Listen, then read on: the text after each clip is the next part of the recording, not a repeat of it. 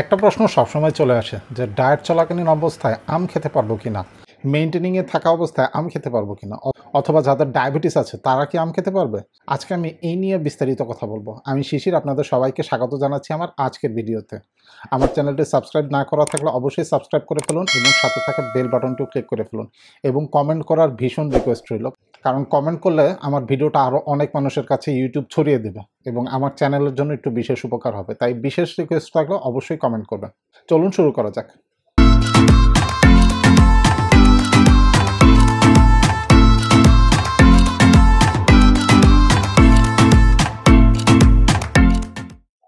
আসসালামু আলাইকুম, কেমন আছেন বন্ধুরা? আশা করি সবাই ভালো এবং সুস্থ আছেন। আমার কাছে সবসময় প্রশ্ন আসে এবং ইদানিংকালে ইনবক্সে স্পেশালি বেশি প্রশ্ন আসে যে, আম খেতে পারব কি না আম খাওয়াটা দরকার। একটু আম খেলে কি কোনো ক্ষতি হয়? এরকম কিন্তু অনেক অনেক প্রশ্ন আসে। এখন আজকে তাই আমি আপনাদের সাথে আম নিয়ে কথা বলব। যারা ডায়েট করছেন মেনটেন করছেন অথবা যাদের ডায়াবেটিস আছে, সব প্রসঙ্গে আপনাদের সাথে কথা বলব। তাই ভিডিওটা একদম শেষ পর্যন্ত দেখবেন। আমি একটা একটা করে যে যে অবস্থা আছে, সেই নিয়ে আমি আপনাদের সাথে কথা বলছি। প্রথমত, যারা সবাই মাত্র কিটো ডায়েট শুরু করছেন মানে ধরেন যে শুরু করেছেন, দুই, তিন দিন হয়েছে ফ্যাট অ্যাডাপ্টেশন করেছেন, তারা কিন্তু আম খেতে পারবে না। শুরুতে আম খেলে আপনার এই কিটো ডায়েটটা পুরো প্রক্রিয়াটাই ভেস্তে যাবে এবং আপনার কিন্তু ফ্যাট অ্যাডাপ্টেশনও খুব সমস্যা হবে। মানে আপনি যে এত পরিশ্রম করছেন, এই আম খেয়ে কিন্তু পুরো পরিশ্রমটা শেষ হয়ে যাবে। এখন প্রশ্ন হচ্ছে যে, আপনার যদি ফ্যাট অ্যাডাপ্টেশন হয়েও যায়, তাহলে কি আপনি আম খেতে পারবেন? আপনার ফ্যাট অ্যাডাপ্টেশন যদি পুরোপুরি হয়ে গেছে, আপনার ক্ষুধা লাগছে না, তখনও কিন্তু আপনি আম খেতে পারবেন না। কারণ তখন আম খেলে কিন্তু আপনার ক্ষুধাটা বেড়ে যাবে এবং আপনি আবার সমস্যায় পড়বেন। অর্থাৎ যারা ফ্যাট অ্যাডাপ্টেশন করে ফেলেছেন এবং ফাস্টিংও করছেন হ্যাঁ অথবা ফাস্টিং সবাই মাত্র শুরু করছেন হয়তো বা খুব বেশি ফাস্টিংয়ে অভ্যস্ত হন চব্বিশ ঘণ্টার ফাস্টিং অথবা তার চেয়েও বেশি ফাস্টিং যারা করে, সেগুলোতে আপনারা অভ্যস্ত হন নাই। তাহলে সেই ক্ষেত্রেও কিন্তু আপনারা আম খেতে পারবেন না। কিন্তু তৃতীয় যে কথাটা বলছি, আপনি যদি ওয়ান মিলে ডেতে অভ্যস্ত হয়ে যান, যে আপনি সপ্তাহে দুই, তিনবার ওয়ান মিলে ডে করতে পারছেন অর্থাৎ সারাদিনে আপনি এক বেলা খাবেন হয়তো বা রাতের বেলা খাবেন, অথবা শুধু সকালবেলা খাচ্ছেন, অথবা শুধু দুপুরবেলা খাচ্ছেন, যারা ওয়ান মিলে ডে করছেন, তারা কিন্তু ফল খেতে পারবেন। অল্প একটা করে ফল খেতে পারবেন। একটা মাঝারি সাইজের অথবা একটা মাঝারি সাইজের আম অথবা ছোট সাইজের আম। আমি আপনাদেরকে বলে রাখি যে, আমের মধ্যে প্রতি একশো গ্রামে, প্রতি একশো গ্রামে পনেরো গ্রাম শর্করা থাকে। এটা হচ্ছে হিসাব। আপনি সারাদিনে কত গ্রাম শর্করা খেতে পারবেন? আপনি সারাদিনে খেতে পারবেন টোটাল বিশ গ্রাম শর্করা খেতে পারবেন। কিন্তু আপনি যদি ওয়ান মিলে ডে করেন, অর্থাৎ দিনে যদি এক বেলা খান হ্যাঁ তাহলে তখন কিন্তু শর্করার পরিমাণ একটু বাড়ালে কোনো সমস্যা নেই। আপনি বিশ গ্রামের থেকে বাড়িয়ে যদি তিরিশ গ্রাম করে ফেলেন, তাহলেও কিন্তু কোনো সমস্যা নেই। তখন কিন্তু আপনি একশো গ্রাম আম খেতে পারবেন।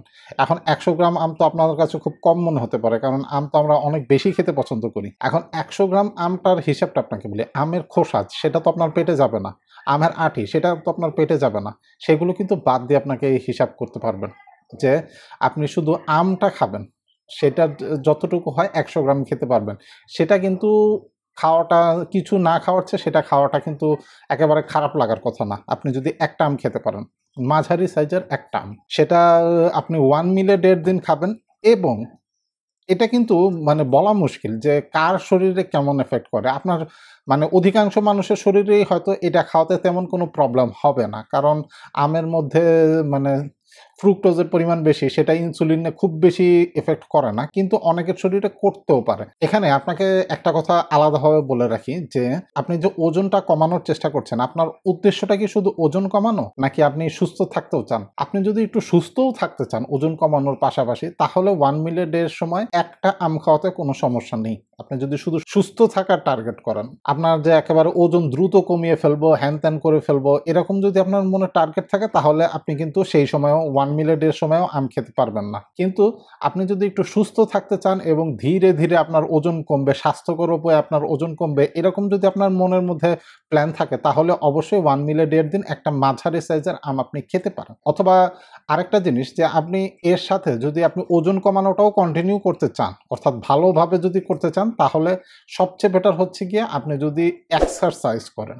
আপনি আম খাচ্ছেন, এর সাথে সাথে যদি এক্সারসাইজ করেন, তাহলে কিন্তু আপনি ভালো ফল পাবেন। আপনার আম খাওয়ার জন্য যেই ওজন কমার গতিটা কমে যাওয়ার কথা ছিল, সেটা কিন্তু এক্সারসাইজ করলে সেটা আর কমবে না। আপনি সুস্থ থাকতে পারবেন। এখন এক্সারসাইজ নিয়ে আমি আপনাদেরকে বিস্তারিত কথাটা বলছি যে আপনি আম খাচ্ছেন, অর্থাৎ আমটা হচ্ছে একটা শর্করা। আমি আপনাদেরকে আগে বহুবার বলেছি যে শর্করা খেতে গেলে কিন্তু আপনার হেভি ব্যায়াম করতে হবে। শর্করা বার্ন হয় যদি হেভি ব্যায়াম করতে পারেন। আর হালকা ব্যায়াম করলে আপনার শরীরে ফ্যাট বার্নিং হয়। এই কথাটা আগেও বিভিন্ন ভিডিওতে আপনাদেরকে বুঝিয়েছি। আপনারা সেইভাবে ফলো করবেন। আপনি আম খাচ্ছেন, আম খাওয়ার পর পর, আগে না কিন্তু। আপনি ব্যায়াম করে এসে আম খেলে কাজ হবে না কিন্তু। আপনি আম খাবেন তারপরে আপনি যদি একটা হেভি ব্যায়াম করেন একেবারে জোরে দৌড় দিলেন মানে হিট এক্সারসাইজও না, কিন্তু হিট এক্সারসাইজে কিন্তু রেস্ট নিতে হয় হ্যাঁ? হিট এক্সারসাইজের কথার সাথে এর কিন্তু সম্পর্ক নেই। আপনি হেভি ব্যায়াম করলেন হেভি বডি বিল্ডিংয়ের ব্যায়াম করলেন, যত হেভি ব্যায়ামগুলো আপনার শারীরিকভাবে আপনি সক্ষম, যে ব্যায়াম করলে আপনি হাঁপিয়ে যাবেন, সেই ব্যায়ামটা করলে আপনি কিন্তু আমের যে শর্করাটা আছে, সেটা আপনি দ্রুত বার্ন করে ফেলবেন এবং আপনার ওজন কমার গতিটা কিন্তু কমবে না তখন। তখন আপনার ওজন কমার গতিটাও কন্টিনিউ চলতে থাকবে। এটা একটা হচ্ছে সবচেয়ে বড় সমস্যা। এবং আমের বেলায় বলছি, এটা কিন্তু মাঝারি সাইজের আম। আমার যত কথা বলা হচ্ছে, মাঝারি সাইজের আম বলা হচ্ছে। কারণ আমার এক কাছের একজন মানুষ, তাকে আমি পরামর্শ দিয়েছিলাম যে হ্যাঁ ওয়ান মিলেটের দিন তুমি একটা আম খেতে পারো। তারপরে সেই দিন রাতেই তার ওয়াইফ ভাবি, ফোন দিয়ে আমাকে বলছে যে যে, তুমি কি তোমার ভাইকে এত আম খেতে বলছো? আমি বললাম, কত আম খেতে বলেছি? তখন আমাকে বলছে যে আস্তে একটা ফজলি আম খাচ্ছে। মানে এত বড় ফজলি একটা আম সেটা খাচ্ছে ওয়ান মিলেটের পরে।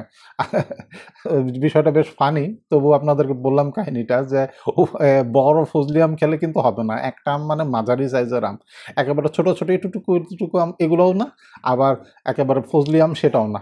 মাঝারি সাইজের যে আমগুলো আছে, একটা স্ট্যান্ডার্ড ধরে নেবেন। এবং ধরেন যে আটি বাদ দিয়ে একশো একশো গ্রাম ধরলেই বেটার আটিটা বাদ দিয়ে ওজন একশো গ্রাম ধরেন। এখন আপনাদেরকে ক্লিয়ার কথাটা বলছি যে ব্যায়ামটা করবেন আম খাওয়ার পরে পরে ব্যায়াম করবেন। তাহলে দেখবেন যে আম খেয়ে যে শর্করাটা আপনার শরীরে ঢুকেছিল, সেটা আপনার ব্যায়ামের মাধ্যমে সেটা বেরো হয়ে যাবে এবং হেভি ব্যায়াম শুধু হাঁটাহাঁটি করে আসলে কিন্তু হবে না। এই শর্করা বার্ন করার ক্ষেত্রে হাঁটাহাঁটি কাজ করে না। শর্করা বার্ন করতে চাইলে আপনাকে অনেক জোরে দৌড়াতে হবে, লম্বা সময় ধরে ব্যায়াম করতে হবে, তাহলে কিন্তু আপনার শর্করাটা বার্ন করতে পারবেন। এবং আপনার যদি ব্যায়ামের ক্ষমতা আরও বেশি থাকে যে আপনি অনেক বেশি ব্যায়াম করতে পারেন স্বাভাবিকভাবে। আপনার শরীরে সেরকম স্ট্রেংথ আছে। আপনি অনেক জোরে দৌড়াতে পারবেন, লম্বা সময় ধরে ব্যায়াম করতে পারবেন, আপনি জগিং করতে পারবেন সাইকেলিং করতে পারবেন। এই ধরনের যে সকল ব্যায়াম আপনি যদি করতে পারেন, তাহলে কিন্তু আপনি আমটা আরও একটু বেশি খেলেও কোনো সমস্যা নেই। আপনার শরীর সেটা বার্ন করে ফেলবে। তাই এই বলব যে আম খাওয়াটা খুবই ভালো। আপনি যদি সুস্থ থাকার নিয়তে ওজ- এই ডায়েটের জার্নিতে আসেন, তাহলে আমটা আপনি খেতে পারেন।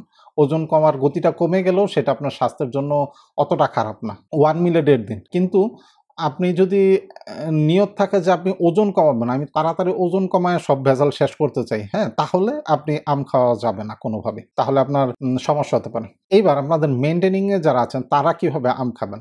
মেনটেনিংয়ে যারা আছেন, তারা হয়তোবা দিনে একটা ছোট আম অথবা একটা মাঝারি সাইজের আম খেতে পারেন হ্যাঁ তাতে কোনো সমস্যা হবে না। কারণ মেনটেনিংয়ে এত বাধ্যবাধকতা নেই। ভাতটা কন্ট্রোল করা উচিত। আপনি যেদিন আম খেলেন হ্যাঁ সেদিন ভাতটা না হয় না খেলেন হ্যাঁ এইভাবে মেনটেন করা উচিত আসলে।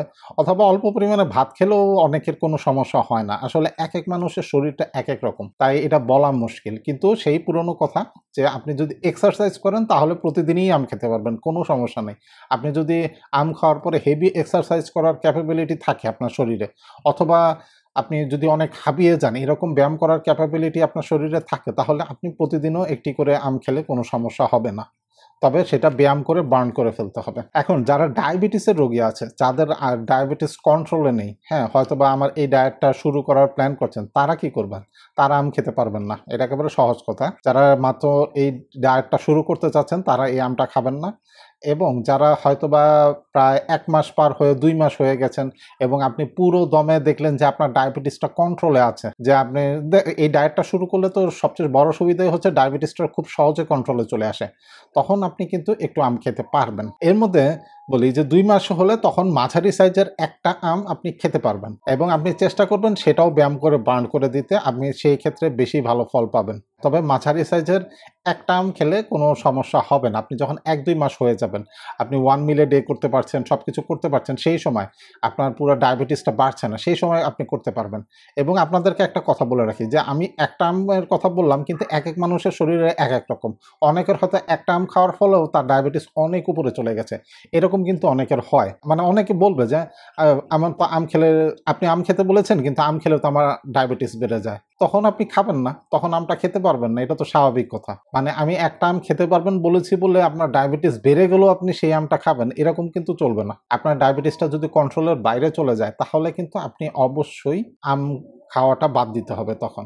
আমি আপনাদেরকে বলি নর্মালি ডায়াবেটিস যদি সাত পার পার হয়ে যায়, আপনি ধরেন যে একটা আম খেলেন, যতটুকু আম খেলেন, সেটা যদি সাত পার হয়ে যায় ডায়াবেটিস খাওয়ার পরে, তাহলে আপনি সেই আমটা আর খাবেন না। তখন আপনি আরেকটু কম খেয়ে দেখবেন টেস্ট করে দেখবেন যে আমি হাফ আম খেলে আমার কতটুকু ডায়াবেটিস পারে। আম খাওয়া ভালো, খুব ভালো জিনিস, ফল খাওয়া আমাদের শরীরের জন্য জরুরি। তাই তখন অর্ধেকটুকু আম খাবেন, এক পিস আম খেয়ে দেখবেন যে আপনার ডায়াবেটিস কতটুকু বাড়ে। সেটা কিন্তু আপনার নিজের শরীরকে পরীক্ষা করে দেখতে হবে। এই হলো আম খাওয়া নিয়ে বিস্তারিত। আশা করছি সব রকমের সমস্যা নিয়ে আপনাদের সাথে আলোচনা করা হয়েছে। যারা ডায়েট করছেন, যারা মেনটেন করছেন এবং যাদের ডায়াবেটিস আছে, তিন ধরনের বিষয়ে কিন্তু কথা বলেছি। আশা করছি এই বিষয়ে আপনাদের সব কনফিউশন দূর হয়ে যাবে। কেমন লাগল আজকের ভিডিওটি? যদি ভালো লেগে থাকে তাহলে চ্যানেলটি সাবস্ক্রাইব করে ফেলবেন এবং সাথে থাকা বেল বাটনটিও ক্লিক করে ফেলবেন। আমার সোশ্যাল মিডিয়ার লিঙ্ক সবসময় ডিসক্রিপশন বক্সে দেওয়া থাকে, সেখানে কিন্তু আপনারা চাইলে আমার সাথে যোগাযোগ করতে পারেন। সবাই ভালো এবং সুস্থ থাকবেন। আল্লাহ হাফেজ।